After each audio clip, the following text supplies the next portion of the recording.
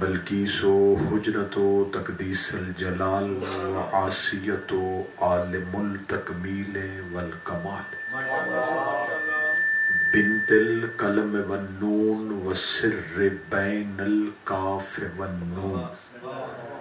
व दलील इरादत कुन फयकून व किताबुल मकनून। आयतुल्लाहिल उज़मा व ज़ौजत मुहाफ़िज़तुन नबुव्वा व नाशरतुल विलाया।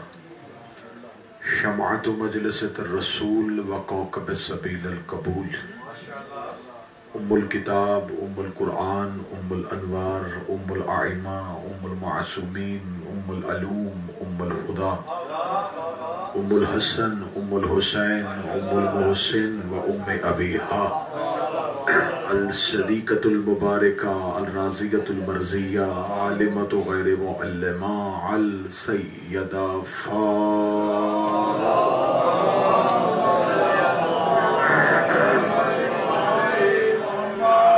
वलान अल्लाह तआला अला अजमईन अम्मा बाद फ़क़त क़ाला हक़ सुब्हानहु तआला फ़ी किताबिहिल मजीद व फ़ुरक़ानिल हमीद। रहीम अल्लाहु वलियुल्लज़ीना आमनु युख़रिजुहुम मिनज़-ज़ुलुमाति इलन नूर। वल्लज़ीना कफ़रू नूर इलज़-ज़ुलुमात उलाइक अस्हाबुन नार हम सलावत।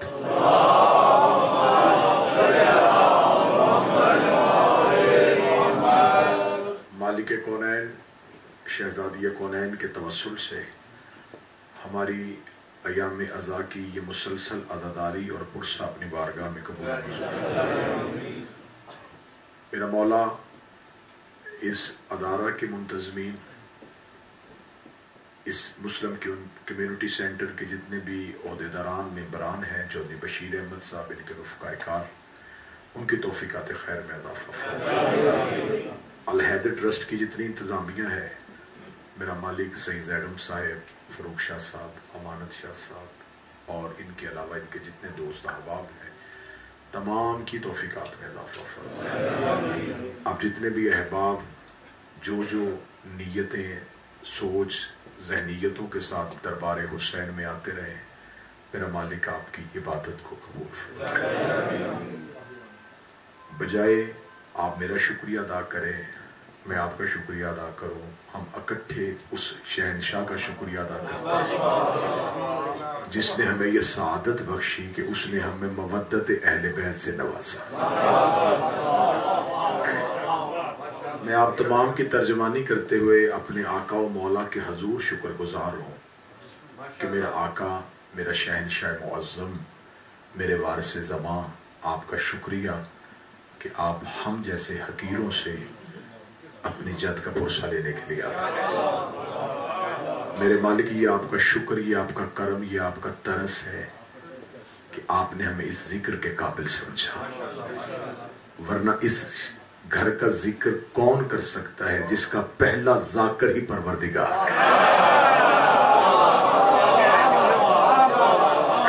ना हमसे ज़िक्र का हक अदा हुआ।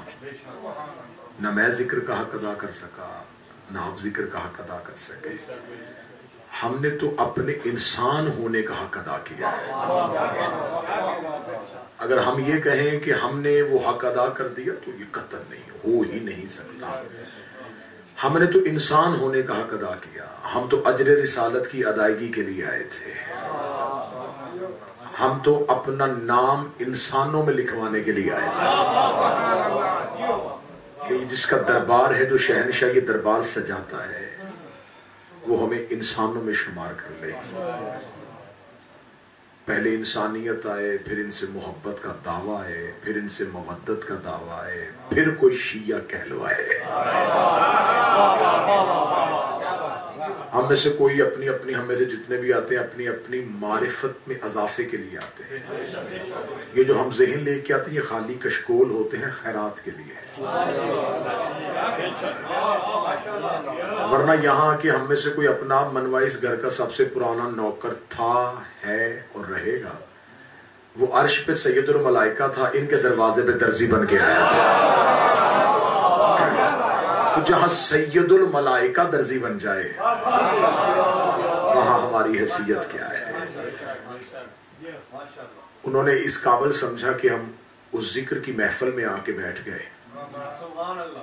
कि जहाँ अंबिया और मलाइका तशरीफ़ फरमा थे शहनशाह मौसम का दरबार सजा था, मेरा मालिक हमें हमेशा ये गम नसीब करना हमारी आँखें कभी इस गम में खुश्क हुई ना हमें ये हमेशा हमेशा के लिए नसीब फरमा आप जो जो हाजात लेके आए, मालिक मुस्तजाब फरमाए, मालिक कबूल फरमाए। अगला साल मुहर्रम का चाँद अगर हम इससे को ज़िंदा रहा तो फिर अपने अजादार होने की गवाही के लिए बारगाहे, रबूबियत और इमामत में आएँगे। दुआओं की कबूलियत के लिए जितनी मुमकिन हो सके उतनी बुलंद सलवा तलावत फरमाए।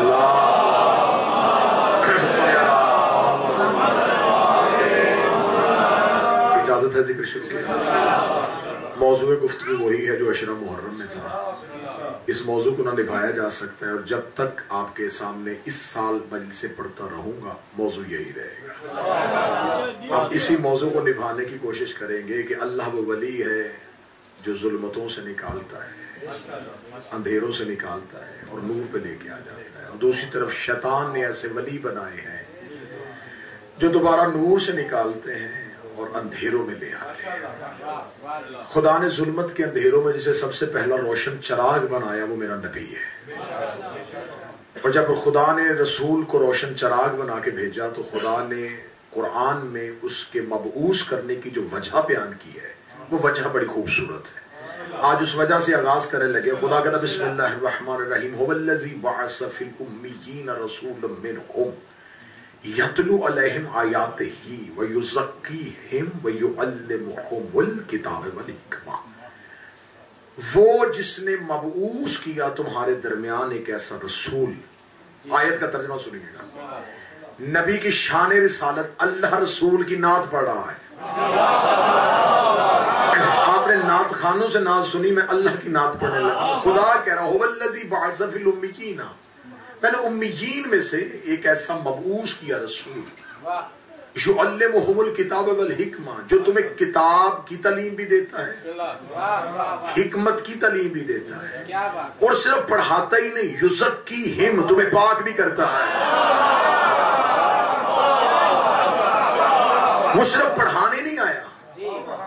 पाक भी करने आया अहले इल्म और दानश्वर चेहरे मेरे सामने तशरीफ़ फरमाए कि कौसर काजम साहब, फितरत इंसानियत है कि हर आलिम मुअल्लम नहीं होता। हर मुअल्लिम आलिम नहीं होता। ये सिर्फ़ किसी एक में इकट्ठी हो जाए तो ये कुदरत का करम है। वरना ज़रूरी नहीं होता कि हर आलिम अच्छा मुअल्लम भी हो और हर अच्छा मुअल्लम अच्छा आलम भी हो। खुदा ने नबी में फरमाया, ये सिर्फ़ आलम ही नहीं मुअल्लम भी है। और मुअल्लम वो होता है जिससे अलूम पे पूरी कुदरत हो। जिसे मुकम्मल अलूम पे कुदरत हो। इसका मतलब है कि खुदा ने हादी का म्यार बताया। ये खुदा मेरिट बता रहा है कि हादी का कम अज कम मेरिट अल्लाह की नज़र में ये है, आलम भी हो, मुअल्लम भी हो। और सिर्फ़ आलम और मुअल्लम ना हो। ताहिर भी हो। मुताहिर भी हो। हादी भी हो, महदी भी हो। सिर्फ़ पढ़ाता ना हो, पाक भी करता हो। जिसे पाक भी करना है, जिसे पढ़ाना भी है, खुदा ने नबी को रोशन चराग बना के भेजा है। और खुदा ने कुरान में कहा सराज मनीरा ये मेरा नबी रोशन चराग है। जब भी चराग आए तो चराग में जहन में आते जो सबसे पहला तस्वुर आता है, वो रोशनी का आता है। खुदा कहता है कि मैंने चराग रोशन किया। खुदा ने सूरज नहीं कहा, चाँद नहीं कहा, सितारे से नहीं मिसाल दी। मेरे मालिक, रोशनियाँ तो सूरज की भी थी, रोशनी तो चाँद की भी थी। फरमाए सूरज सिर्फ़ खुद रोशन है, चाँद सिर्फ़ खुद रोशन है। चराग एक ऐसा रोशनी है, जो खुद भी रोशन होता है, दूसरे को भी रोशन कर देता है।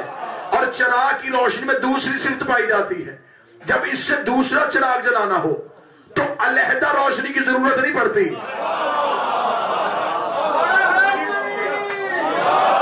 तमहीर समाज फरमाइएगा, जब चराग से दूसरा चराग रोशन करना हो तो पहले ही की रोशनी दूसरे को भी रोशन कर देती है।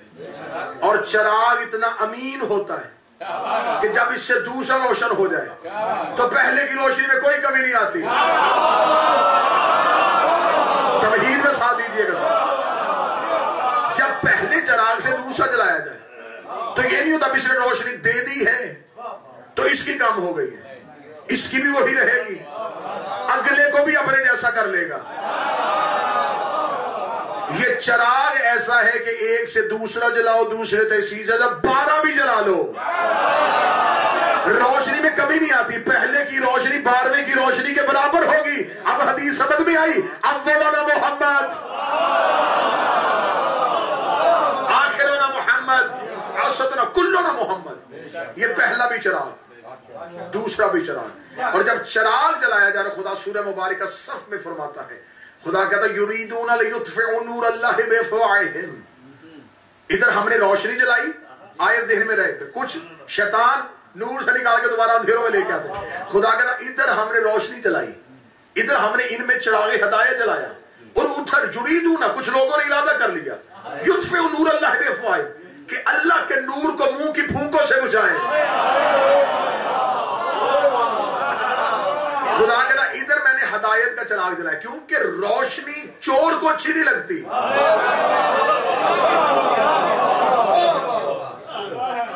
चोर रोशनी का दुश्मन होता है। उसे पता होता है अगर ये रोशनी जली तो मेरा चेहरा पहचाना जाएगा। रुक रहा यहीं पे, रुक रहा यहीं पे। पहला नतीजा देने लगा हूँ तारीख के एतबार से। मेरे जितने नौजवान दोस्त बैठेंगे मुझे बताएँ। हमारे बारह आइमा में से ना कोई हुकूमत का मुतालबा करता था। ना किसी को तख्त का लालच था। ना किसी ने हुकूमत के लिए जंग की। जब ये तख्त, ताज, हुकूमत, खिलाफत, दौलत, लश्कर मांगते नहीं थे, फिर हर दौर के उम्मत ने इन्हें कत्ल क्यों किया? भाई, दुनिया की जितनी जंगें होती हैं, उसमें कोई ना कोई वजह होती है जंग अगर तो वजह जंग ताकत थी कि ये अपनी ताकत मनवाना चाहते थे। वो अपनी ताकत मनवाना चाहते थे। एक ने दूसरे को जेर के अपनी ताकत मनवाई। तो वो मुतालबा ही नहीं। हुकूमत लालच नहीं। तख्त ये मांगते नहीं। तार ये छीनते नहीं। दुनियावी दौलत के लिए ये लश्कर साजी नहीं करते। जब ये किसी से कोई मुतालबा करते नहीं थे, फिर उम्मत को दुश्मनी क्या थी? अब मैं पहला नतीजा देने लगा। इतना बेहतरीन जुमला कहने लगा इसमें पूरी तारीख बंद करने लगा।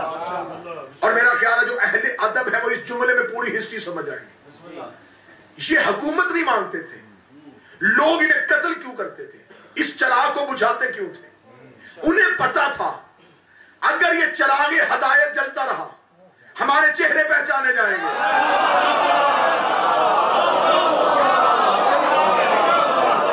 और आसान करूँ और ज़्यादा आसान करूँ ये जब इनको जिंदान में बंद करते थे।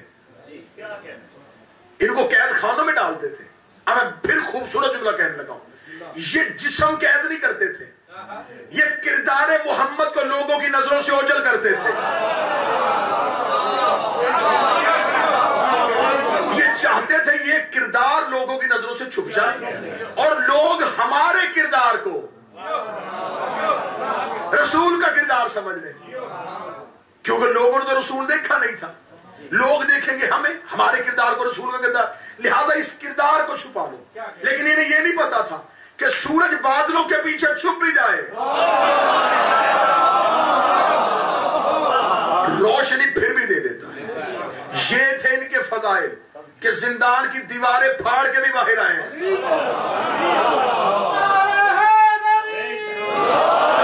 हर दौर में, हर दौर में हुकूमत इनकी दुश्मन रही। तख्त इनके खिलाफ इस्तेमाल हुआ। ताज इनके खिलाफ इस्तेमाल हुआ। मुर्रख इनके खिलाफ इस्तेमाल हुए। तारीख इनके खिलाफ इस्तेमाल हुई। हर दौर का बादशाह इनके खिलाफ रहा। फिर आप इतना सोचे कि इतनी मुखालफतों के बावजूद, इतने फजाइल हम तक आ गए। अल्लाह जाने आप तो भीड़ में साथ दे रहे इतनी इतनी शदीद मुखालफतों के बावजूद जहाँ इनका फजाइल बयान करने में सर काटा जाता। था इतनी मुखालफतों के बावजूद, इतने फजाइल हम तक हजाज बिन यूसुफ का दौर है जालिम तरीन बादशाह है शकील कल्ब है, दुश्मन अहले बैत। इसने पाबंदी लगा दी कि मेरे दौरे हुकूमत में कोई अली के फजाइल नहीं पड़ेगा। जो अली के फजाइल पड़ेगा, उसका सर काटा जाएगा। एक बुढ़िया सर के बाल सफ़ेद। बाज़ार में अली के फजाइल पड़ती जा रहे सिपाहियों ने कैद कर लिया दरबार में लेके गए। हजाज बिन यूसुफ ने कहा मैंने सुना है तू अली को चंद शख्सियात पे तरजीह देती है। मैं हिस्ट्री पढ़ूँगा हिस्ट्री। मैंने सुना है कि तू अली को चंद शख्सियात पे तरजीह देती है। बुढ़िया ने हजाज के दरबार में खड़े होकर कौन सी शख्सियात? जब उसे नाम लिखे बुढ़िया ने कहा मैं तो इन्हें जानती नहीं ये तो मैंने तेरी ज़ुबान से नाम सुने। मैंने तो कभी अली को इन पे तरजीह नहीं दी। उसके लिए तो अभी बाज़ार में कह रही थी अली सबसे अफजल है। तो किन की बात कर रही थी? कहती मैं तो आदम और इब्राहिम की बात कर रही थी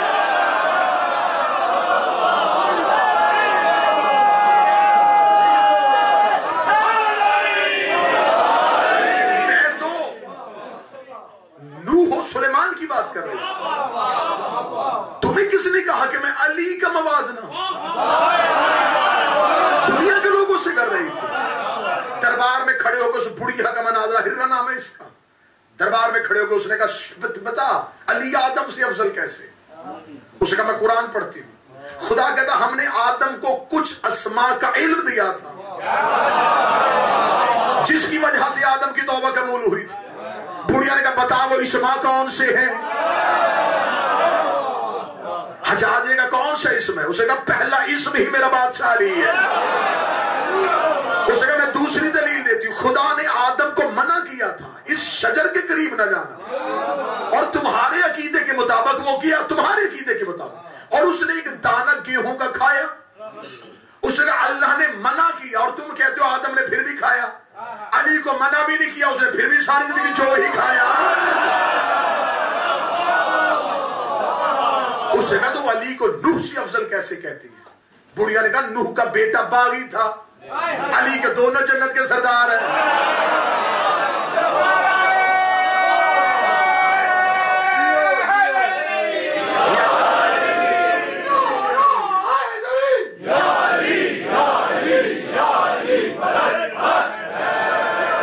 उसने कहा तू बुढ़िया मुझे बता, तू इब्राहिम से अफजल कैसे कहती है? फरमा इब्राहिम ने काबे की दीवारों को उठाया था अली काबे में आया है।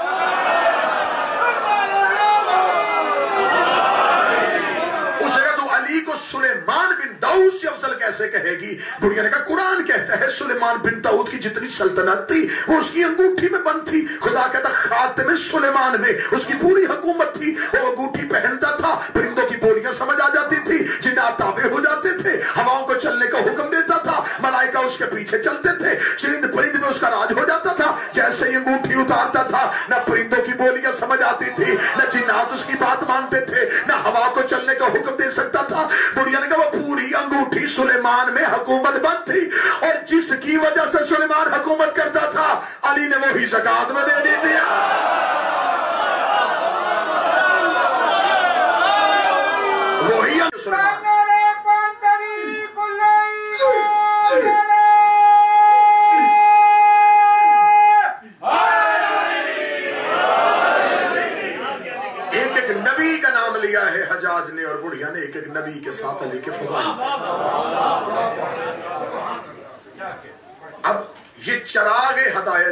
थे और उम्मत को कोशिश ये चराग बुझेगी।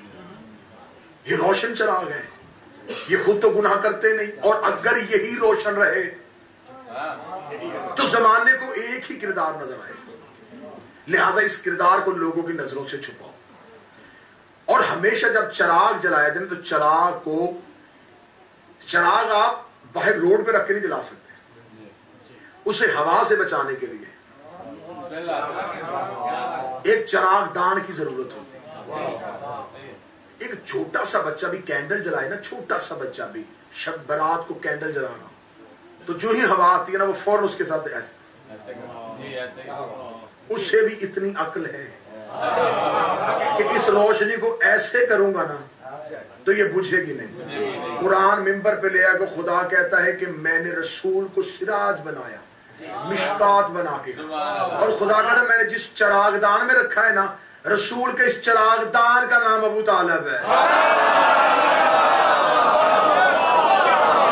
इस चरागदान को जिसने दूर मैंने ईमान अबू तालब नहीं पढ़ना, मैं कभी भी ईमान अबू तालब नहीं पढ़ूँगा। मैं एहसान अबू तालब पढ़ता हूँ। फजाइल अबू तालब पढ़ता हूँ। ईमान अबू तालब मौजू रहता ही नहीं ईमान अबू तालब बात हो ही नहीं सकती। हज़रत अबू तालब के कितने बेटे हैं आप ठीक कह रहे हैं, चार बेटे अब जिस दौर में हज़रत अबू तालब में इस्लाम नहीं आया, ठीक है मैं नौजवानों से मुखातब, इस्लाम नहीं आया। अब जरा अबू तालब के बेटों के नाम देखो। पहली बात हो कि अबू तालब का अपना नाम ही इमरान है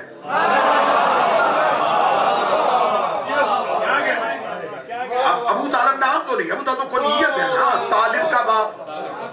मैं जिस दौर की बात कर रहा हूँ, अभी रसूल भी नहीं आए। जब रसूल नहीं आया तो इस्लाम कैसा? अभी रसूल भी नहीं, इस्लाम भी नहीं, कुरान भी नहीं। और अबू तालब इमरान है। और आसान करूँ, अभी आले इमरान नहीं आई अभी सूर्य आल इमरान का नजूल नहीं हुआ नाम इमरान बड़े बेटे का नाम क्या? तालिब क्या समझते हो किस दौर में अबू तालिब बेटों के नाम रख रहा है? जमाने जाली या जहालत नहीं। जहाँ जानवरों के नाम पे बच्चों के नाम रखे जाते थे। जहाँ पहाड़ों के नाम पे बच्चों के नाम रखे जाते थे। जहाँ हराम जानवरों के नाम पे बच्चों के नाम रखे जाते थे। मैं नाम मिंबर पे लू, मिंबर की तहजीब इजाज़त नहीं देती। वरना इतने घटिया और गलीज नाम है। जो अकाशी कर रहे हैं कि बाप और दादा का मज़हब क्या था? नाम हमेशा बाप दादे का मज़हब बता देता है।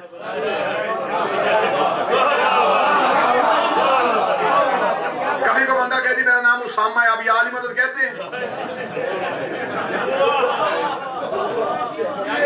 और बंदा गुलाम अब्बास हो। लिहाजा नाम बाप और दादे का मज़हब बता देते हैं। ये बात है कि नहीं तय। अब जरा हज़रत अबू तालिब के बेटों के नाम देखो बड़ा बेटा, तालिब। ये अरबों के नाम है। उर्दू नाम नहीं है। तालिब। तालब के लिए किसी मतलूब का होना ज़रूरी है। किस मतलूब पे अबू तालब ने बेटे का नाम तालब रखा? दस साल के बाद दूसरा बेटा, जाफिर। कुरान कहता जाफ़र जन्नत की नहर का नाम है। आप पता नहीं कहाँ चले गए मैं तो कोशिश कर रहा हूँ थोड़ा अकीदा पढ़ दू। जाफ़र जन्नत की नहर का नाम है। अभी इस्लाम नहीं आया। अभी कुरान में सूरह वाकिया नहीं आई। अभी जन्नत की नहरों के नाम लिखे फिर दो ही रस्ते हैं। या तो अबू तालब जन्नत देख रहा था, या अल्लाह अबू तालब के बेटों पे जन्नत की नहरें लिख रहा था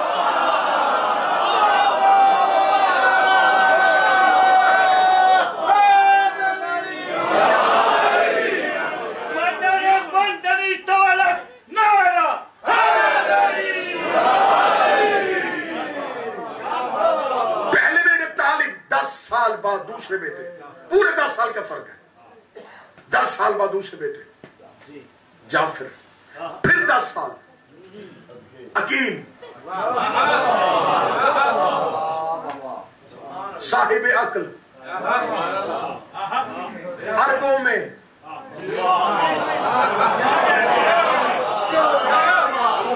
जुमला अच्छा कर देता हूँ, अहले जबान बैठे, जुमला अच्छा करता हूँ। जलीलों में अकील गलीज मुआशरे में यकीन। जरा जहनी में यार देखो अबू तालब का। तालिब, दस साल।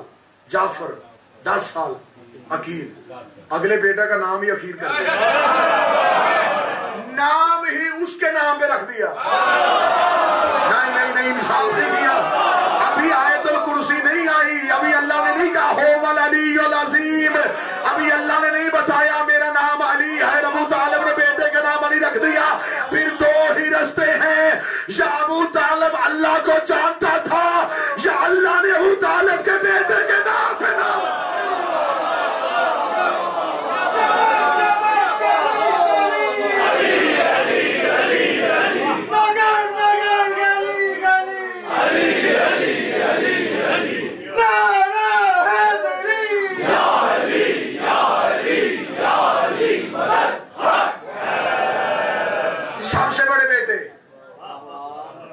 बेटे दी?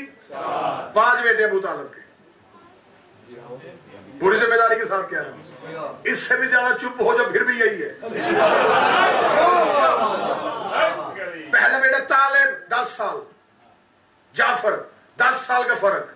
अकील, दस साल का फ़र्क। अली, दस साल छोटा। इस्लाम। काश कोई एक बंदा समझने वाला होता। काश कोई एक बंदा समझने वाला होता। अली के दस साल इस्लाम आया है। इस्लाम अबू तालब के मज़हब का नाम नहीं, अबू तालब की औलाद का नाम।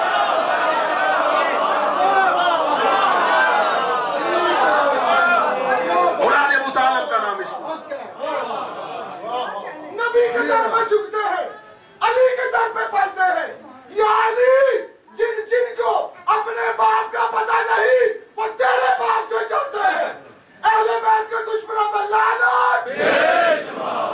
जिसने इस शरार को बजाया। नूरे हदायत को मुहाफज का नाम होता जो हादी का मुहाफज हो। हादी किसे कहते हैं? हदायत देने वाले। और मुस्तदरकुल हाकम से लेके तरीक इब्ने कसीर तक सबने लिखा है। कि रिसालते माँ बाबू तालब की उंगली पकड़ के चलते थे। जो हादी को चलना सिखाए। उसे इमरान कहते खुदा ने पहला चरागे हदायत जलाया। उम्मत ने बुझाया। खुदा ने दूसरा जला लिया। इन्होंने बुझाया। खुदा ने तीसरा जलाया बुझाया। चौथा जलाया बुझाया। पांचवा जलाया बुझाया। छठा जलाया बुझाया। ये बुझाते रहे, वो भी जलाता रहा। ग्यारह हदायत के चराग अल्लाह ने इस उम्मत के दरमियान जलाए। ये बार बार बुझाते रहे बार बार बुझाते रहे बार बार बुझाते रहे। जब ग्यारह चरागे हदायत बुझा दिए तो खुदा ने कहा, तुम इस काबल ही नहीं हो कि बारवा चरागे हदायत तुम्हारे दरमियान जलाया जाए। खुदा ने बारवा चरागे हदायत अपनी तोहीद के फनूस के अंदर जला दिया।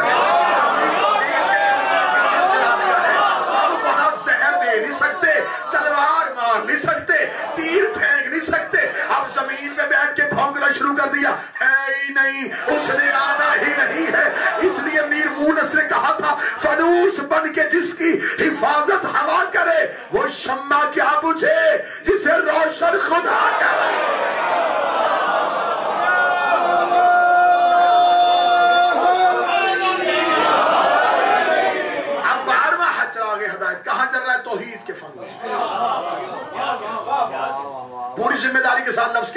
लफ्ज नहीं, इस लफ्ज पे, इस जुमले पे मैंने अशरे पढ़े हैं।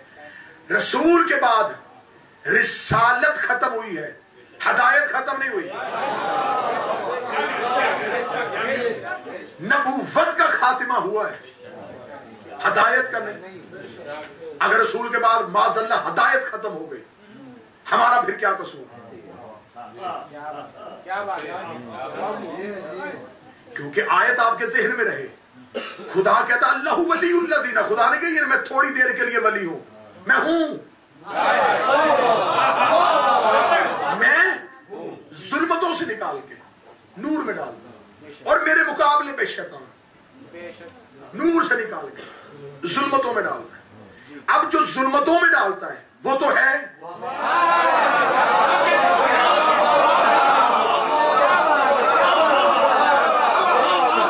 ये किसी इनकार नहीं कि वो नहीं है। ये सारे कह रहे कि वो ज़िंदा है। कब तक ज़िंदा है? कहते अल्लाह ने मोहलत दी है। इसका मतलब कि अल्लाह गुमराह करने वाले को मोहलत दे रहा है।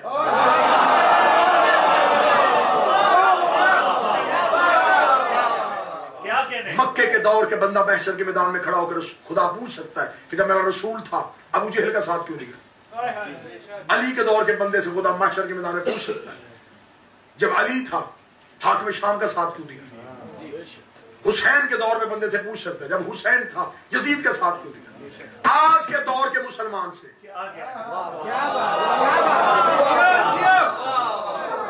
जब माशर के मैदान में खड़ा होगा तो अब अल्लाह बंदे से नहीं पूछेगा, बंदा पूछेगा, जब शैतान था, और तेरा हाथी नहीं था कसूर तूने गुमराह करने वाला तो रखा। हदायत करने वाला नहीं रखा। तो अदले इलाही के खिलाफ है कि कोई गुमराह करने वाला हो और हदायत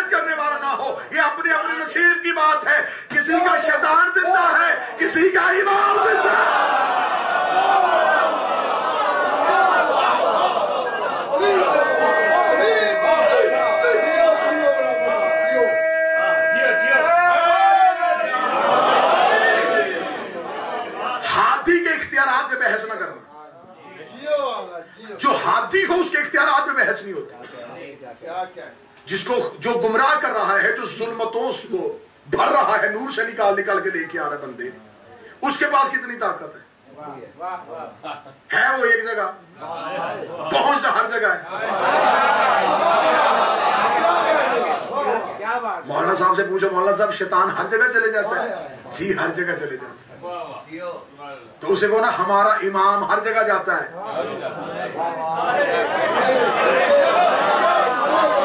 फ़ौरन कहता लो जी ये शियों की फटी पुरानी बातें। एक इमाम हर जगह कैसे, एक अली ने चालीस जगहों में इफ्तार कैसे कर लिया? एक अली हर बंदे की मदद कैसे करता है? एक इमाम जमाना हर जगह कैसे, एक इमाम जमाना सारे शियों के माल कैसे देख सकता है? खुदा तुझे अक्ल दे, अल्लाह अपने दुश्मन को ताकत दे सकता है, अपनी हुज्जत को ताकत नहीं दे सकता तुम्हें कैसा दिल बोला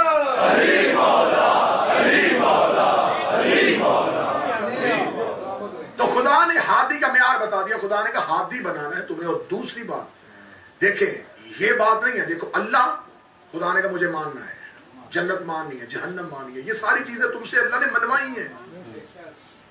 तुम इस फितरत के कानून से बाहर निकल ही नहीं सकते। कोई जहन तस्वुर तोहीद से खाली नहीं है। हर किसी के जहन में कोई ना कोई खुदा है। और हर कोई अपने जहन में मौजूद खुदा की इबादत कर रहा है। जो जिससे ज़्यादा ताकतवर समझता है, उसे खुदा समझ लेता है।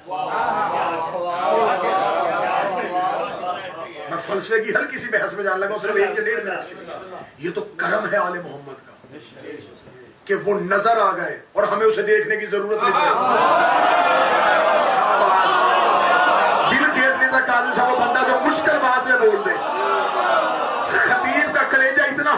कोई बंदा मुश्किल बात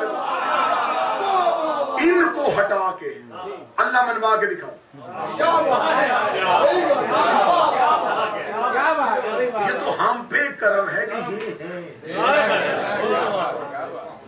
कोई हमसे पूछे ना, हमसे तो पूछे। मेरी कौम के इस बच्चे से, इस बच्चे को खड़ा करके पूछे।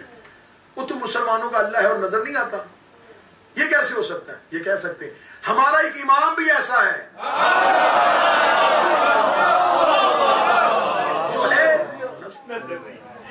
आप अल्लाह को जहन में क्या लेके आएँगे? कोई ना कोई तस्वुर तो अल्लाह का कायम करेंगे।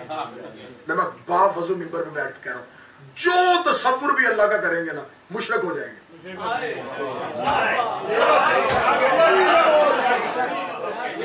दांतों को पसीना आता है अल्लाह मानने में। ये बड़ा आसान है, कह देना जी, सिर्फ़ अल्लाह को मानो। क्या मानो भाई? बताओ तुम्हारे जहन में अल्लाह क्या है? क्या तस्वुर लेके आओगे? या उसे महदूद मानोगे? या उसे महलूल मानोगे? या उसे मुजस्सम मानोगे? अल्लाह कहाँ है? अल्लाह जी आसमानों पे है। तो ज़मीन पे कौन है? इसका मतलब जमीनें उससे खाली है। तो जहाँ अल्लाह नहीं, और वो उधर है और इधर नहीं। क्या बात है? नहीं जी वो अल्लाह इधर भी और इधर भी है। आता जाता है। तो फिर वो तगैर में आ जाएगा। जब वो उधर से इधर आ रहा होता है उधर कौन होता है? और जब वो इधर से उधर जा रहा होता है क्या बात है अल्लाह हर चीज़ में है। तो हलूल हो जाएगा। वो हर चीज़ में आ जाता है। वो सर्फ कौन सा है जिसमें अल्लाह बंद हो जाता है?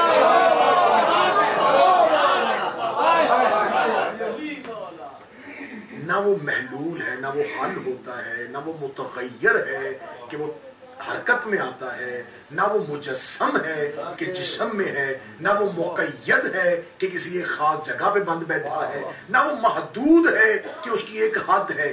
फिर वो है कहाँ?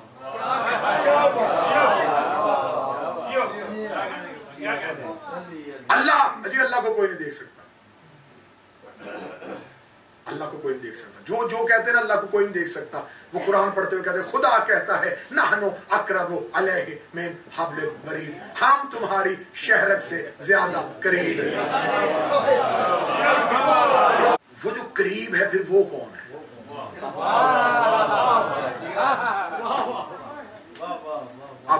अली के सिवा अल्लाह ढूंढ के दिखाओ पूरी ज़िम्मेदारी के साथ कैमरों की मौजूदगी में अपना बयान रिकॉर्ड करवाने लगा हूँ। किसी नबी ने तोहीद पे खुतबे नहीं दिए। बस नबियों ने ये कहा अल्लाह को मांगो कोई खुतबा नहीं दिया। पूरी ज़िम्मेदारी के साथ कह रहा हूँ, रसूलों के रसूल ने भी तोहीद पे खुतबा नहीं दिया। मुसलसल तोहीद पे खुतबे दिए तो मेरे मौला अली ने दिए। देखिए, हर जहन एक जैसा नहीं होता। अब मैं, जो चीज़ मेरे दिल में है तो मैं तो बयान कर रहा हूँ, लेकिन हो सकता है मेरे सुनने वाले सामने का जहन कहीं और चला जाए। तो उसके जहन को दोबारा सराते मुस्तकीम पे लेके आने लगा। इसका मतलब कहानी ये नहीं है कि मैं माजल्ला ये कह रहा हूँ कि अंबिया के पास इल्म तोहीद नहीं था, और अली के पास इल्म तोहीद था। इस नुक्ते से ना सोचना। हाँ मैं नुक्ता नया देता।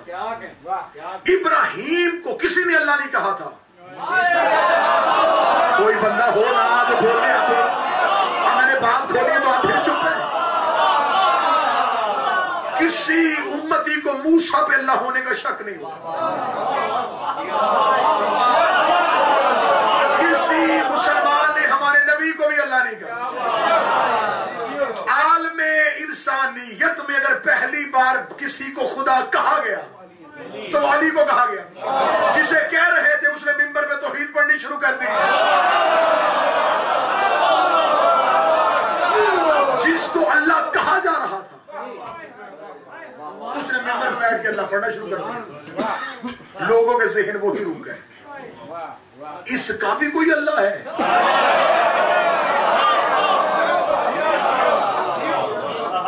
फिर मेरे मालिक अली ने क्या कमाल जुमला कहा।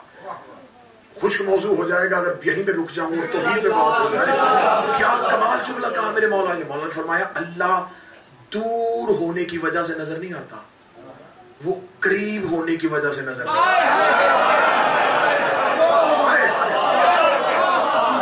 ये जुमला कहने के लिए होना ही अली चाहिए। जुमला बता रहा है, ये किसी अली की ज़ुबान से निकला। बंदे समझे वो बहुत दूर है। नज़र नहीं आता अली फरमाते वो इतना करीब है जी जी कि उसका कमाल कुर्ब उसे नज़र नहीं आने देता क्या बात वाह वाह। फलसफा समझने वालों ने मंतक समझने वालों ने इल्मुल कलाम समझने वालों ने गुफ्तगू समझ ली। लेकिन ये बच्चे बैठे होते हैं मदरसों में। इन बच्चों को समझाने के लिए एक मिसाल दे देता हूँ। ये मेरा हाथ यहाँ है ना तो मुझे नज़र आ रहा है। इतना करीब हुआ नज़र आया। नज़र आया। नज़र आया।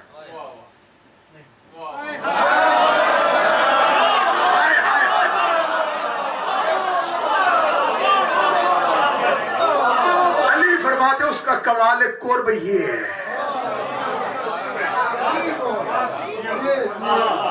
वो अपने कमाल कुर्ब की वजह से नज़र नहीं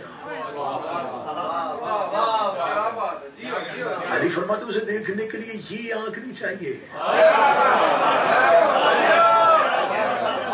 कोई ना आँखों से तो नज़र नहीं आता। अब क्योंकि अकीदा तोहीद मेरा मौजू नहीं फिर किसी मजलिस हुई तो अकीदा तोहीद में पूरी मजलिस पढ़ेंगे। अल्लाह मनवाया है नबियों ने। रसूल ने अल्लाह मनवाया। जब अल्लाह मनवा रहा था तो ये चराग हदायत हदायत के चराग का बंदोबस्त दे दिया अबू तालब के जिम्मे। अब हाथी का काम है अल्लाह मनवाना। अब ये तो हो नहीं सकता कि खुदा कह रहा है कि मैं क्यामत तक के लिए बंदों को जुल्मतों से नूर पे लेके आऊँगा। इसका मतलब कि हाथी मौजूद है। रिसालत खत्म हुई, हदायत खत्म नहीं हुई। नबूवत खत्म हुई, हदायत खत्म नहीं हुई। अब खुदा ने इस आयत में, सूरज जुम्मा की इस आयत में मेरिट दे दिया कि हाथी का मेरिट कम अज कम ये है कि सिर्फ़ पढ़े ना पढ़ाए भी। सिर्फ़ पाक हो ना, पाक करे भी। सिर्फ़ हदायत पाए ना, दे भी। खुली छुट्टी है उम्मत मुसलमान। छोड़ दो शीयों के आयमा इससे बढ़ के फराख दिली और तहाज बैल क्या होगा? मर्ज़ी का नाम लेके आओ। शर्तें तीनों हो।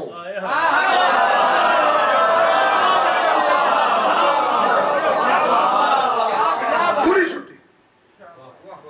मर्ज़ी का नाम लेके आओ। इससे ज़्यादा बैल एतहादे बैल हम अहले बैत को छोड़ देते हैं। आप लेके आए। लेकिन उस हादी में पहली सिफ्त ये हो कि वो सिर्फ़ पढ़ता ना हो। आसान कर दू? उस हाथी ने कभी किसी से कुछ ना पूछा हो।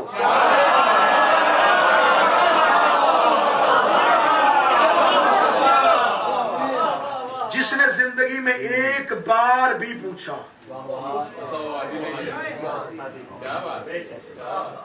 अगली शर्त। मुताहिर बाद में जोड़ो ताहिर हमेशा से पाक हो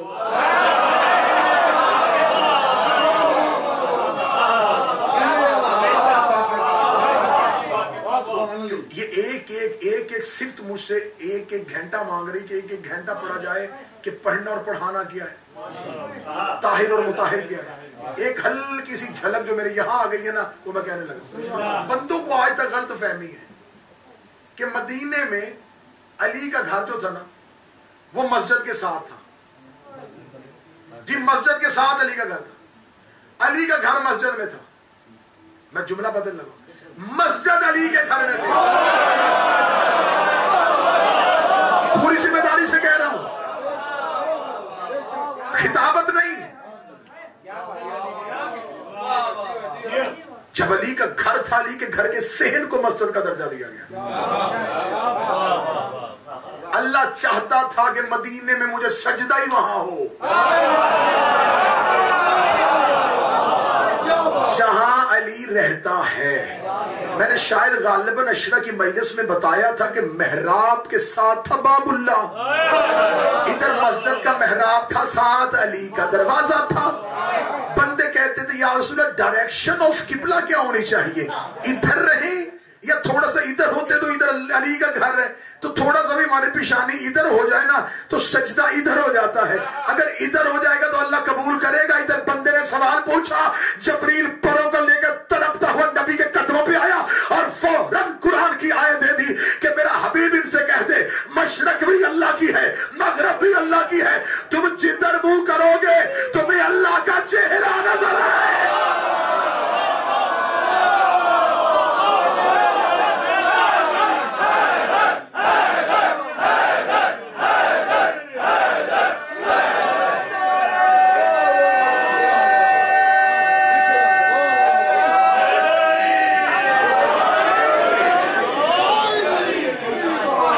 मशरक भी अल्लाह की है मगरब भी अल्लाह की है तुम जिधर मुँह करोगे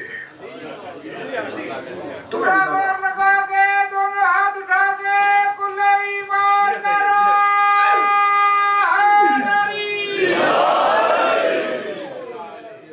अच्छा जब बैतुल्ला किबला नहीं था तो किबला अव्वल क्या था? बैतुल मकदस। उसकी तरफ़ मुँह करके नमाज़ पढ़ी जाती थी। और बैतुल मकदस और किबला है दवम यानी कि बैतुल्ला की डायरेक्शन बिल्कुल अपोजिट है। ये नहीं है कि ये बैतुल मकदस है और ये बैतुल्ला है। इधर बैतुल्ला है इधर बैतुल मकदस है। और खुदा ने जो किबला तब्दील करवाया था क्या बात ये नमाज़ की हालत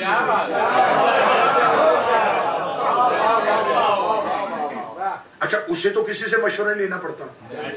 तब्दील ही करवाना था ना। तो नमाज़ से थोड़ा पहले कर। मेरा हबीब एक नमाज़ इधर मुँह करके पढ़ाई।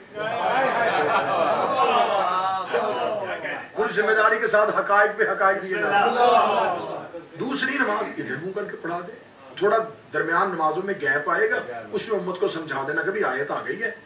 अब किबला ये नहीं, किबला इधर है। खुदा ने भी इंतज़ार किया। इधर रसूल ने नीयत की, मुँह इधर ही।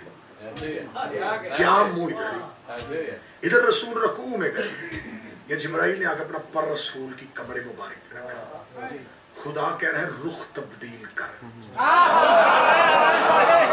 काश मैं जैसे समझाना चाहता हूँ वैसे समझ। बाद में खोलूँगा नहीं तारीखी हकाइक और आपके जहान में क्यों उतार दूँगा? जब रिसालते माप नमाज़ पढ़ाते थे उस वक्त जमीयत उम्मत नमाज़ नहीं पढ़ती थी। उस वक्त जो चंद लोग थे वो रिसालते माप के पीछे नमाज़ पढ़ते जी। मलिकतुल पढ़ती थी। अब अली जो थे वो रसूल के बिल्कुल पीछे मुख्तदी की हैसियत से मौजूद थे।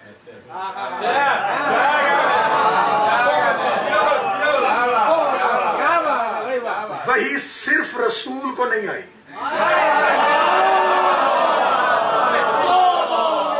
अब इशारा करूँगा जी किस्मत की बात है जो मुकद्दर में होगा वो तुम्हारा समझ के ले जाएगा। रसूल मुँह इतर करके नमाज़ पढ़ते रुकू में हालत है। जब इनका रुख तब्दील कर। अब जब रुख तब्दील हुआ, मुँह हो गया उधर। जब उधर थे, नबी आगे थे।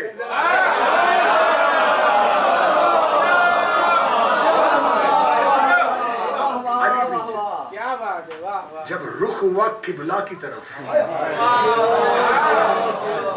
अब अली क्या कह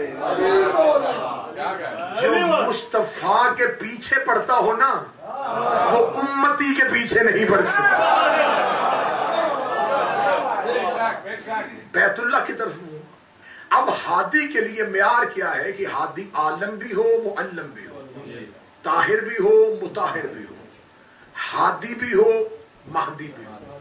और खुदा ने कहा, देखो, ये चुनाव मैंने तुम्हें दे दिया है। तुमने अल्लाह माना अपनी बिल्कुल आखिरी जुमले कहने लगा। अल्लाह माना अपनी मर्ज़ी से। जन्नत मान ली, जहन्नम मान ली। ये जो इमाम का फैसला है ना ये मैंने तुम्हारी अक्ल पे छोड़ा है। ये तुम्हारी अक्ल सलीम पे छोड़ दिया मैंने। इमाम मर्ज़ी से बना लो। अल्लाह अपनी मर्ज़ी से बना ही नहीं सकते।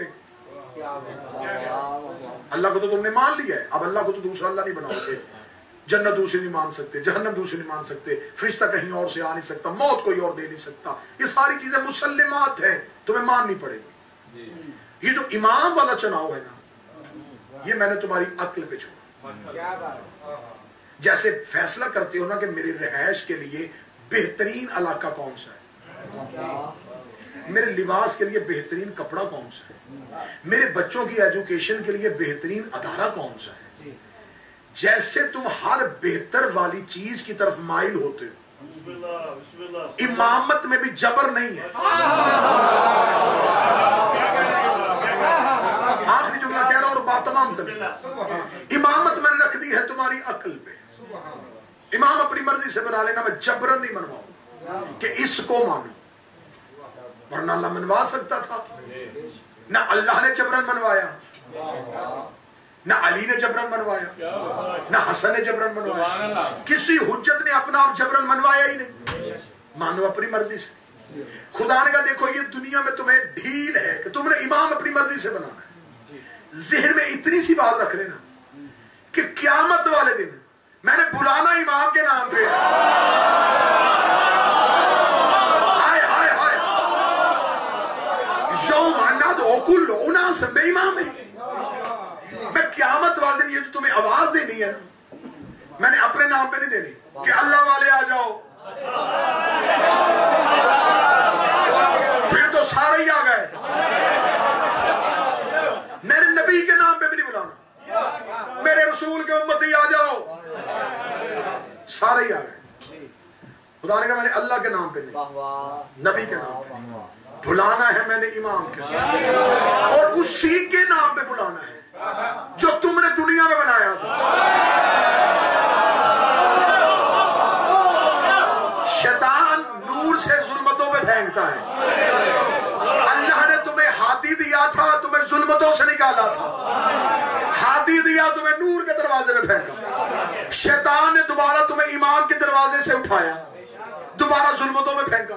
खुदा कहता वो क्यामत वाले दिन, जहाँ तुमने फेंका था ना उसने। मैंने जो मैंने बनाया था, उसके नाम पे नहीं।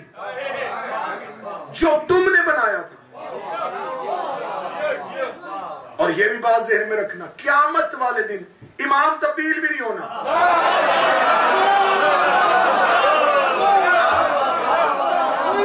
तब्दील नहीं होना छोड़ दो। ये बहुत सेंसिटिव मौजूद है पर बात खत्म कर रहा हूँ। ये बहुत हसास है। देखिए इंसानी खुदा खाली के फितरत है ना। कौन सा भाई इंसानी फितरत है कि बंदे को ना अपनी खरीदी चीज़ से ज़्यादा दूसरे की खरीदी चीज़ अच्छी लगती है। फितरत है। कि। अपनी गाड़ी से उतर के किसी दोस्त की गाड़ी में बैठे ना। तो फ़ौरन बैठते पूछेगा ये कौन सा मॉडल है? क्यों? दूसरी चीज़ अटैक करती है। खुद लिबास खरीद के लेके आया होना और किसी का देख ले फ़ोन जेब में तो यार मुझे ये ले लेना चाहिए था। इसलिए दुकानदार फितरत इंसानी से वाकफ होते हैं। वो बंदे के आगे ढेर इतना लगा देते हैं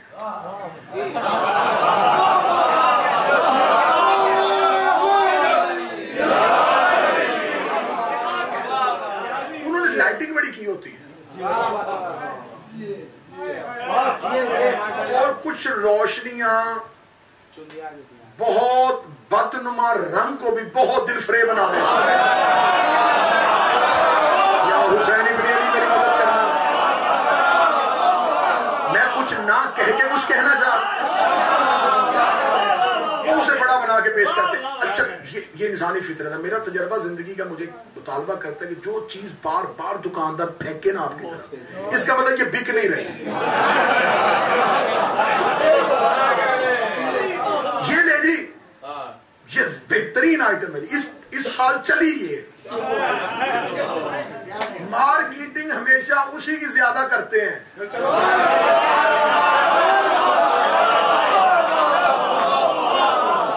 एक कोने में एक बंदा बैठा होता दुकान बना के। ना उसने बाहर अपने वो रखे होते हैं जी मार्केटिंग वाले, वो जो आवाज़ें देते हैं, वो भी कोई नहीं होते। सौदा उसका इतना खरा होता है।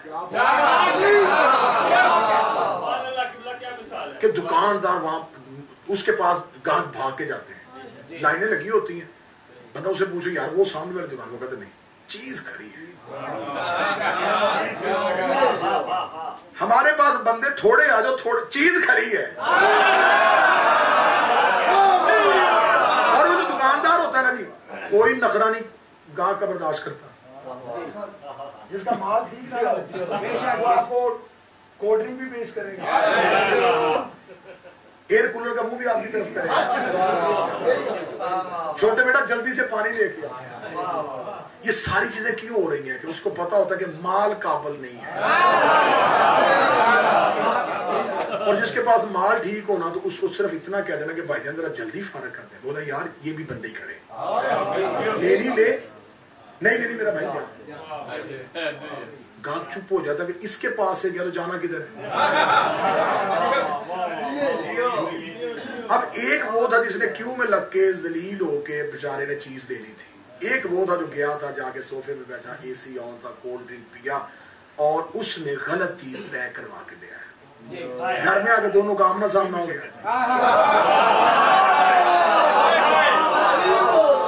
इमामत का चुनाव और क्यामत। इसको मेरी मजबूरी है मैंने पहले कहा मैं मुश्किल दौर का खतीब हूँ। आप समझते खतीब आज़ाद होता है, हम रस्सियों में बंद होते हैं, पिंजरों में बंद होते हैं। और फिर भी हकायक आप तक पहुँचाने की कोशिश करते एक ने लिया था, बिस्मिल्लाह एक ने लिया, वहाँ पे बैठ के आसानी से, लिया उसने आसानी से। लेकिन लिया दो नंबर। एक ने लिया मुसीबतों से।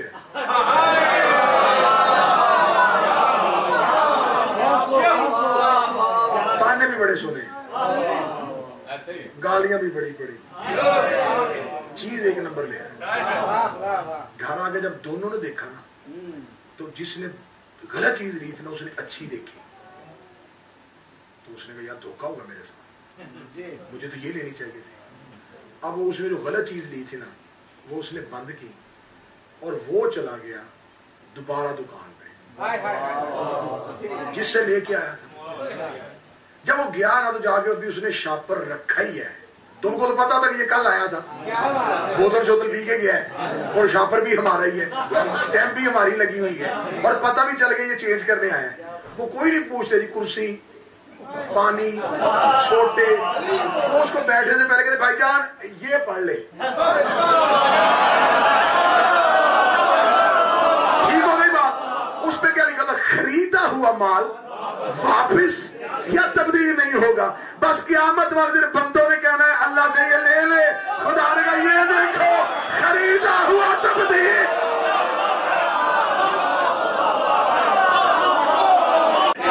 अब नहीं हो सकता। अब जो खरीदा है, इसी पे गुजारे। साहिबान, दुनिया की मार्केट बंद होने वाली है। बाज़ार बंद होने वाला है। दुकानें बहुत खुली हैं। कोशिश करो सौदा खरा लेना। नमाजों की कठरियाँ हो, सारे सालों के रोज़े हो, नबी की हदीस, अहले सुन्नत किताबों से कुरान की हाशिए में लिख के देने के लिए तैयार हो कि ये नबी की हदीस, अहले सुन्नत किताबों में ना हो तो मेरा खून माफ़ है। नबी ने फरमाया, अगर कोई इंसान मुसलमान सत्तर अंबिया के अमाल।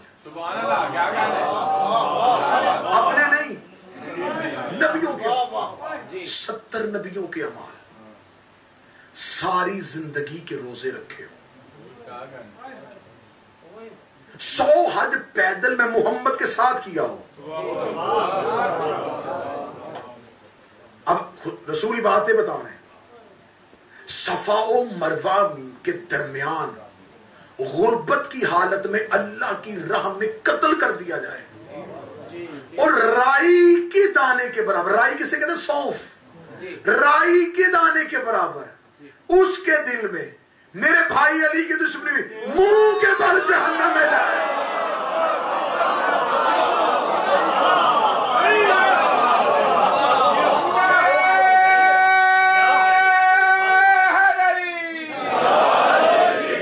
मैं दुश्मन मुर्तजा अली लाना अब ये अल्लाह और अली का रिश्ता है बस बात खत्म हो गई उसने हादी बनाया था, इसने हदायत दी है।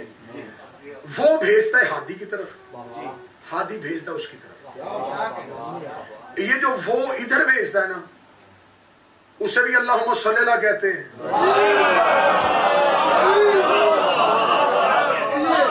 जो हादी उधर भेजता है ना, उसे भी अल्लाह सल्लल्लाहु अब दरूद का फलसफा मौजू नहीं इन अल्लाह मलाइका तो मेरे, ऐ मेरे अल्लाह कहता मैं और मेरे फरिश्ते सलवात पढ़, ज़रूर पढ़ते हैं। तुम भी पढ़ो। और हम आगे अल्लाह सल्लल्लाहु मेरे ला तू पढ़। वो कह रहा तुम पढ़ो।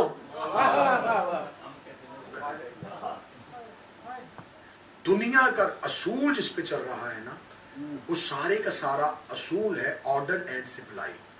तलब एंड रसम मांगना और देना। ये कानून फितरत दुनिया इस पे चल रही है। मासूम से किसी पूछने का बंदे ने पूछा था कि दरूद क्या है? फरमाया फैज मांगना और देना इसे दरूद कहते हैं।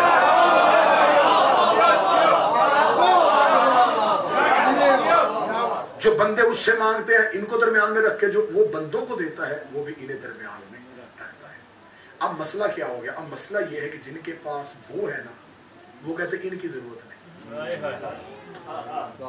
अगली बात किस्मती नहीं ये आगे जिनके पास ये है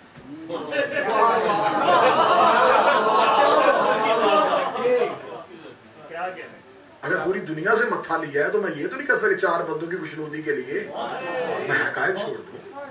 अपनों बेगानों की दुश्मनियाँ कांधों पे उठा के पूरी दुनिया में फिर रहा हूँ। मेरा बाप दादा तो दुश्मनियाँ नहीं छोड़ के गया था। हाँ, तो मेरे जमीनों जायदादों के झगड़े हैं। 2009 से शुरू हुआ इस कौम की खातर सजाए मौत की कोठरियाँ जेल ले सजाएँ क्या कुछ बर्दाश्त कर लिया? किस वजह से? सिर्फ़ इस घर की मज़हब की तबलीग से समझौता नहीं किया। अब बात सिर्फ़ इतनी सुनानी है कि जिनके पास वो है ना, वो कहते इनकी ज़रूरत नहीं। बस अल्लाह पा लिया हाथी की ज़रूरत क्या है? और जिन्हें हाथी अच्छा मिल गया है ना, वो कहता, हमें अल्लाह की ज़रूरत हमें इबादत की ज़रूरत ही नहीं। अल्लाह ने पूछना है कि अली कहाँ है? और अली ने पूछना है कि इबादत कहाँ है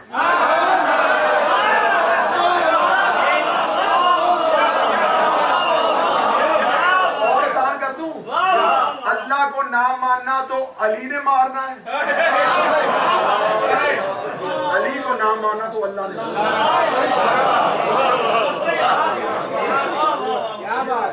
यार, ये अल्लाह तुम्हें दिन में पाँच दफ़ा क्यों बुला रहा है? कौन सी चीज़ अल्लाह नहीं सुनना चाहता है? अलहम घर में बैठ के पढ़ लो। वो तुम्हें सूरह फातिहा सुनने के लिए नहीं बुलाता। मैं नतीजा दे रहा हूँ। वो कुल वहाँ सुनने के लिए नहीं बुलाता। वो सुबहान रब्बी अजीम सुनने के लिए उसने कहा मैंने तुम्हें हादी दिए थे। गदीर में नबी ने तुमसे वादा लिया था। वो गवाही में पक्के हो के नहीं।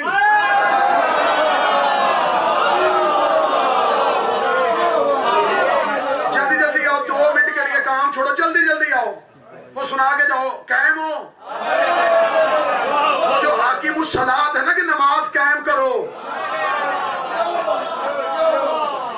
वो असल में यही है कि गवाही कायम करो। ठीक है? मुझे अदालत में काम पड़ जाए मैं अपनी मिसाल दे देता हूँ किसी और की मिसाल दूँ बंदे यहाँ पे नाराज़ भी बड़ी जल्दी हो जाते हैं कि सारे मजमे तो मैं ही लंबा सा। मैं अपनी मिसाल ही दे देता हूँ। कि मैं मुझे बाबर कह जी आपने मेरे साथ जाना जी अदालत में जाके मेरी गवाही देनी मैं वो बाबर मैं हाजिर मैं जाऊँगा। ये चार पाँच बंदों को कह दी अलवी साहब मेरे साथ जाएँगे गवाही देंगे। चार पाँच बंदे जी आप जा रहे हैं? मैं कहा जी मैं जाऊँगा। जिस दिन हेरिंग थी ना। बाबर साहब सुबह सुबह गाड़ी लेके अलवी साहब चले मैं तबीयत खराब। आज नहीं जाया जाना ये जो मैंने इसके सामने दी थी, उसका कोई फ़ायदा? वो चार पाँच बंदे मेरे पास चल के आए थे मैंने उनमें दी थी। अली वलीउल्लाह के पीछे लड़ाइया जितनी मर्ज़ी कर लो। लेकिन मेरी कौम के मातमियों नौजवानों, अली वलीउल्लाह, जहाँ तुमने अपनी गवाही देनी थी, दे ली। जहाँ तुमने बंदों में अली मनवाना था मनवा लिया। जब अल्लाह ने कहा ना मेरे पास आके दे। जहाँ गवाही देनी थी ये जो मुसल्ला है ना ये उस कटहरे का नाम है जहाँ अली की गवाही दी जाती है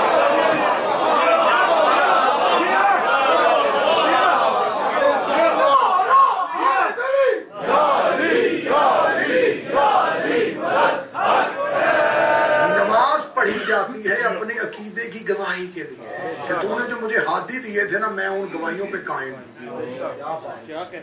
मैं पक्का। तो नमाज़ की तबलीग इस तरीके से भी हो सकती है। ऐसे भी नमाज़ की तबलीग हो सकती है। मेरा ख्याल ऐसे बेहतर हो सकती है।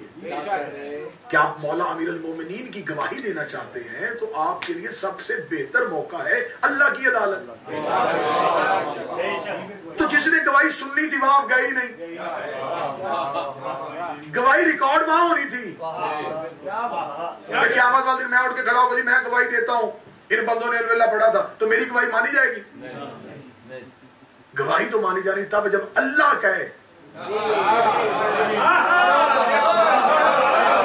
हाँ मैं गवाही देता हूँ। ये दिन में बार बार आए थे और उन्होंने गवाही दी थी। यही तो वजह है कि कब्र में अल्लाह का सवाल फरिश्तों ने पूछना है। नबी का सवाल फरिश्तों ने पूछना है। किबला काबा सवाल फरिश्तों ने पूछना है। अमीर मोमिन की कुर्सी सराहनी होगी।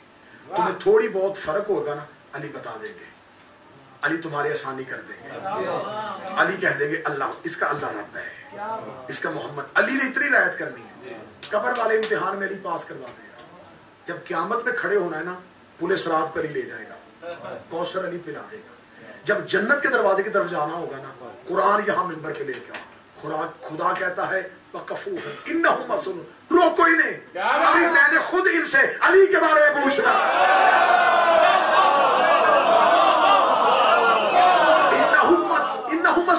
मैंने पूछना है।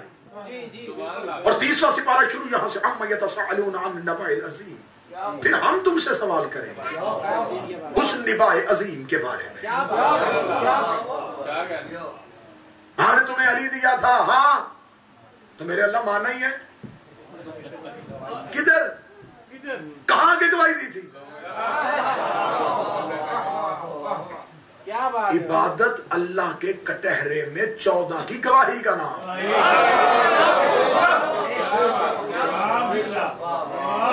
तो सबूर इबादत को खत्म ना होने देना।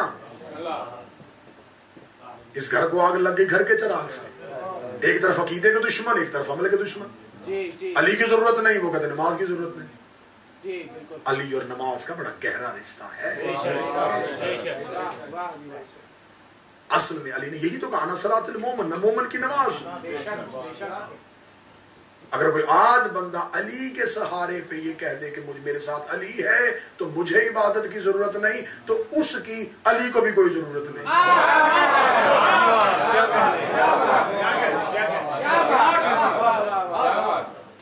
मौला फरमाते मेरे शियो, तुम हमारे शजर के पत्ते हो। दरख्त की पहचान पत्ते से होती है। पत्ता बता देता है दरख्त किस चीज़ का अली फरमाते तुम शिया खुद ही बता दोगे कि हाथी कैसा है। बस आखिरी फरमान सुनो मेरे मौला का बहुत ज़्यादा वक्त मैंने पढ़ लिया। आज मैं पैंतीस चालीस मिनट पढ़ना चाह रहा था और आज ही मैंने ज़्यादा पढ़ दिया। मौला फरमाते हैं फाजिल तीन ना ये जो मेरे शिया है ना मौला फरमाते तुम्हारे बारे में। मौला फरमाते हमारे शिया। इनके बदन हमारे फाजल तीनत से, हमारे तीनत की जो फाजल था ना, उससे खल्क हुए। वह आजनो बेमा वलायत ना मौला फरमाते इनका जो खमीर है ना, हमारे विलायत के पानी से गूंदा गया है।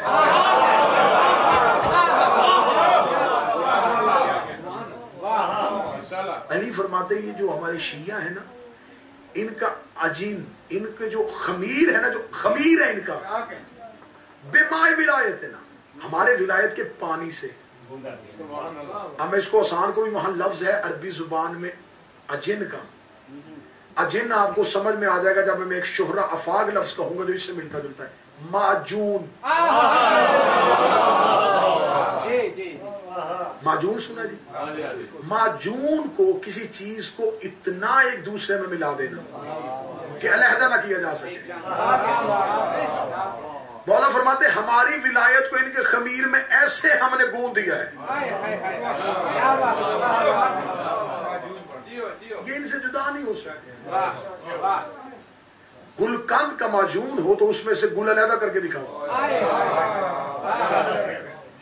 नहीं हो सकता। अली फरमाते, हमारी विलायत, तुम्हारे खमीर को हमने गूंद दिया। अब हमारी विलायत तुमसे जुदा नहीं हो सकती। क्योंकि वो तुम्हारे खमीर में गूंदी जा चुकी अब अगला जोड़ा जिसके लिए मैंने मेहनत की है। माजून जब देखे ना जी तो उसमें कोई चीज़ नज़र नहीं आ रही होती क्या है? अब वो जो देखने वाला तो क्या करता है?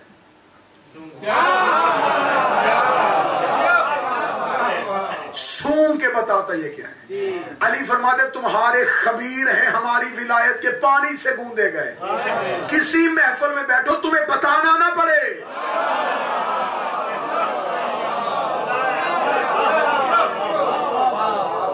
मौला फरमाते तैयब में विलायत देना तुम्हारी विलादत में हमने अपनी विलायत की खुशबू रखी जैसे खुशबू फूल से जुदा नहीं हो सकती। अली फरमाते, तुम्हारे अंदर हमारी विलायत की खुशबू है। अब लफ्ज मेरे यहाँ फिर आ गया, मैं तो यही पे रोकने लगा था, लफ्ज फिर आ गया। मच्छर होता है बदबूदार पानी में पैदा। शहद की मक्खी जाती है फूल से खुशबू लेने के शहद की मक्खी को आज एक्सपेरिमेंट करो, उससे बदबूदार पानी में एक हफ़्ते के लिए बंद करो। वो मर जाएगी। मच्छर को फूलों में रख के देखो। वो वहाँ मर जाएगा। क्योंकि वो होती खुशबू की आदि। वो है बदबू का आदि। मुनकर अली की महफल में आ भी जाए तो मर जाता है।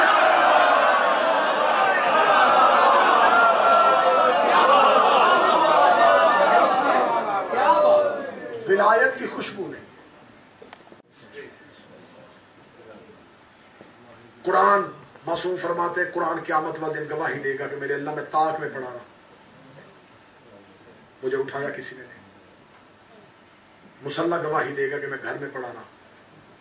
मुझ पर इबादत किसी ने न की। मस्जिद गवाही देगी, इमाम बारगाह गवाही देगा, इमाम गवाही देगा। खाल की बारगाह में कि उम्मत ने क्या किया? मेरी कौम के नौजवानों, बहन ने शाम गरीबा नमाज़ न छोड़ी। और भाई ने नेजे की नोक पे कुरान नहीं छोड़ा। आज अगर पर्दा जहनब पे रो तो एक लम्बे के लिए सोच लेना कि अली की वो बेटी है, जिसको आखिरी वक्त में हुसैन कह रहे जैनब, मुझे नमाज़ शब में न भूलना। कितनी मुश्किल नमाज़ थी मौला हसन की, जो उन्होंने 19 रमज़ान की सुबह कूफे के महराब पे पड़ी थी। बाप का लहू मुसल्ले मुसल्ला लहू से तार रहे और लहू भी बाप का है। और हसन रकू में जाके कह रहा सुबहान रब ये थी हसन की नमाज़। फिर हुसैन ने इससे भी ऊपर नमाज़ रख दी। भाई, भतीजे, बेटों का लहू बदन पे यूँ बिखरी हुई लाशें। सर से लेके पाँव तक जख्म। और सईद में सर कह रहा सुबहान रब्बे आला जब हुसैन ने सजदा इतना बड़ा कर दिया, इबलीस ने सजदा हुसैन को देखा। उसने परवरदिगार से कहा पिछले गुनाह माफ़ कर दे और मुझे कहे, इसे सजदा कर। लम्हा देर ना करो। मैं इसे सजदा करूँ नमाज़ जोबन में आ गई कि मुझे हुसैन पढ़ के दिखा गया। अब इससे बढ़ के कौन पढ़ेगा? लेकिन नमाज़ की आँखें खुली रह गई। नमाज़ सोच रही थी, अब सजदा हुसैन के बाद मुझे कोई नमाज़ ही नहीं मिलना। नमाज़ की आँखें खुली रही जब शाम गरीबा एक बीबी बगैर चादर के कह रही थी। जले हुए खेमों की राख में सर रखे। सुबहान रफे याराम अब हम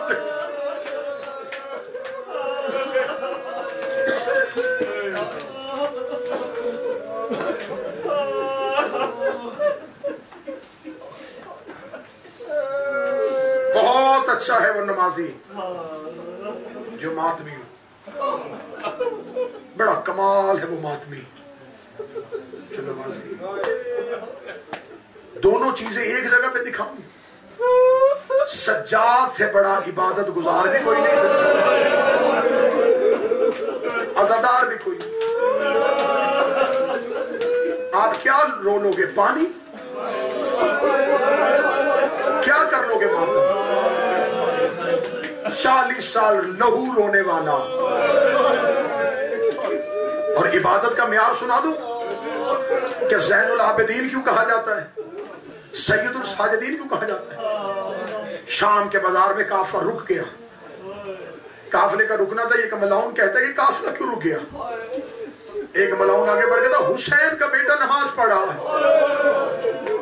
बाज़ार शाम के दरमियान में खड़ा होकर सजाद नमाज़ पढ़ा। इससे का सजाद की नमाज़ को रोक, वरना हम कैसे कहेंगे कि हमने बागी मारा था? मौला सजाद रकू में थे। गर्दन पे सजाद के तौर इसने दो मलौनों को भेजा। एक ने इधर वाली जंजीर पकड़ी, एक ने उधर वाली जंजीर पकड़ी। इन्होंने घोड़ों को दौड़ाना शुरू किया। सजाद का लहू शाम की गलियों में आया। सजाद की आवाज़ आई सुबहान रब्बे आवाज़ें परवरदिगार आई था सैयद और तू है सजदा करने वालों का सरदार। तू है इबादत गुजारों की जीनत। मेरी माए बहने बेटियाँ जो पर्दे में बैठी हैं, पर्दे में आओ, पर्दे में जाओ। अक्सर ये लफ्ज कह दिया जाता जी, पर्दा तो दूसरे की आँखों का होता है। मैं उस बहन और बेटी से कहूँगा, तू बंद कमरे में, अपने घर के बंद कमरे में, बगैर चादर के नमाज़ पढ़ के दिखा। क्यों? वहाँ तो अल्लाह के सिवा कोई नहीं देखने वाला। अगर पर्दा आँखों का ही होता है तो क्या अल्लाह का पर्दा नहीं है? अगर कनीज जैनब की हो तो उस बीबी के मुसाए पर हो तो उसने उसने शाम के बाज़ार में कहा था, ए मेरी कौम की बेटी हो मैं वो जैनब हूँ जिसका नंगा सरबाब नहीं देखा था। मैं बाजारों में आई हूँ तो तुम्हारी चादरें बचाने की खातर। तुम्हें कोई एक तस्वीर करबला से लाके दे देना, ये ये करबला की तस्वीर है। तुम संभाल के रखते हो। ये तस्वीर मुझे करबला से आई। मेरी बेटियों, ये तुम्हारे सर पे चादर है, ये जैनब का तोहफा है। जो उसने शाम के बाज़ार में अपने सर से उतार के तुम्हारे सरों पे दी है बस मैं ग्यारह मुहर्रम का एक मजमून पढ़ू और आपको सलाम करो। वक्त ज़्यादा बीत गया। शाम गरीबा आ गई हाथों में कुरान की आयतों की रस्सियाँ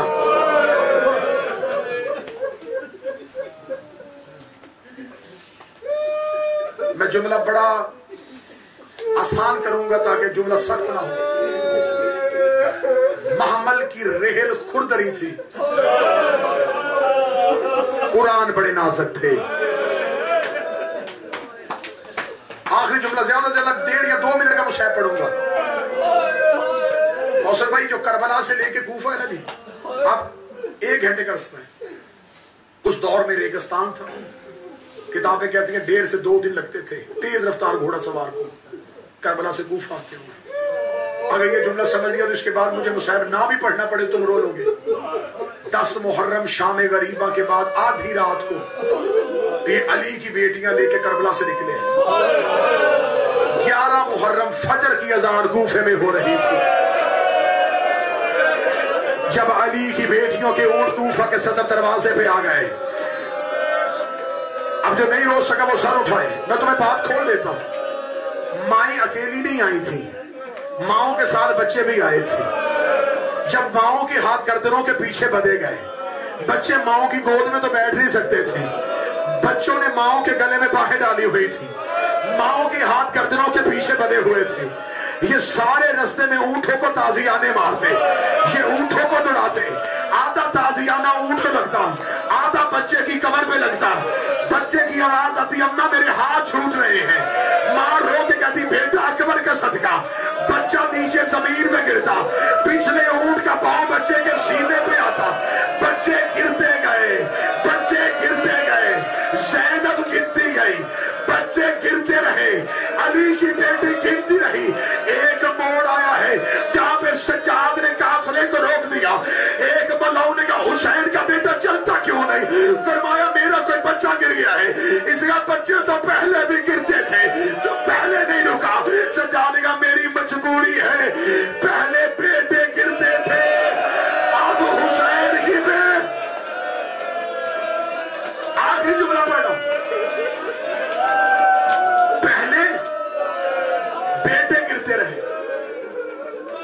हुसैन की।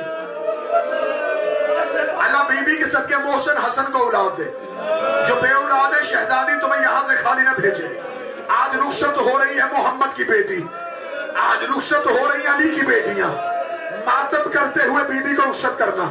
अल्लाह इस अदारे के मुंतजमीन को अलहदा ट्रस्ट। फरूक शाह सही जैगन नदीम, भाई अमान शाह जितने दोस्त अहबाब हैं, हुसैन की मरजा तुम्हें किसी का मोहताज न करे। बाबा जी, मौला अली की बेटियाँ आपका पुरुष कबूल करे। मैं आखिरी दुआ के साथ जुमले का इख्तिताम करने लगा हूँ। आवाज़ आई जो पहले गिरे थे, वो बेटी थी। अब मेरी बेटे थी, अब मेरी बेटी गिर गई है। अब वापस शकीना को लेने के लिए कौन गया? जिससे शाम गरीबा सहमी हुई थी, जिसके तमाचों से डरी हुई थी। ये मलौन घोड़े की सीन में बैठा। इसने अपने घोड़े को दौड़ाया एक टीले के पास सहमी हुई बैठी। जितने रोने आते रहे मालिक मरहूमीन के दर्जात बुलंद फरमाए। अली की बेटी आपका रुजाना आना कबूल फरमाए। मौला बेटों के नसीब नेक फरमाए। सहमी हुई बैठी थी। ये करीब आया।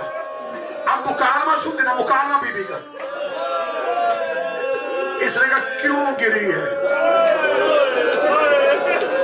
बीबी रो के कहती है, मैं सच्चे बाप की बेटी हूँ। मैं वादा करती हूँ, तू काफला लेके चला जा, जहाँ कहेगा। मैं वहाँ आ जाऊँगी। ये देख तक करेगी क्या? रो के कहती, मेरा बाबा मुझे कहानी सुनाता था। हमारे एक सहाबी था। उसका नाम अबूजर गफारी था। उसे बेटी के साथ वतन से निकाल दिया था। वो अबूजर सहाबी सहरा में मर गया था।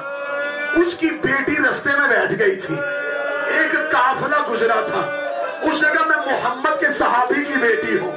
काफले वालों ने उस सहाबी को कफन दिया था। उसे दफन करके चले गए थे।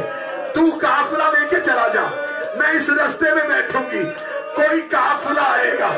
मैं कहूँगी, मैं सही जाती हूँ। मुझे खोम्स में चादर दो। वो मुझे चादर देंगे। मैं वापस कर बना जाऊँगी। मैं बाबा बगैर कफन के छेड़ आई हूँ। मुझे